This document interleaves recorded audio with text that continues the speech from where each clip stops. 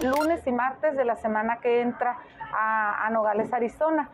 principalmente los niños que tienen pendiente la segunda dosis, que fueron niños que llevamos en el mes de, a principios en la primera semana de junio.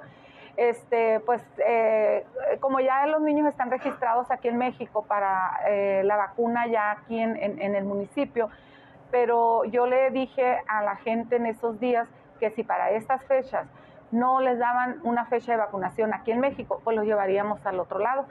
Y hasta ahorita pues no tienen fecha todavía aquí en, eh, para la vacunación aquí en Nogales, entonces los vamos a llevar a Nogales, Arizona. Lunes y martes, mm, el día ya pueden pasar a partir de hoy a Dirección de Salud Municipal, estaremos ahí hasta las 3 de la tarde. Mañana estaremos desde 8 a 3 de la tarde dándoles el, el folio y el sábado yo personalmente estaré ahí en Dirección de Salud Municipal desde las 9 de la mañana hasta la 1 de la tarde entregando los folios eh, faltantes.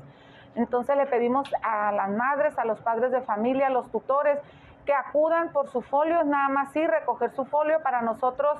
llevar un control y llevar un conteo de cuántos niños eh, pues ya se recogieron su, su número, su, su para llevarlos a vacunar al otro lado para la cuestión de la logística y conseguir los camiones necesarios para estarlos transportando.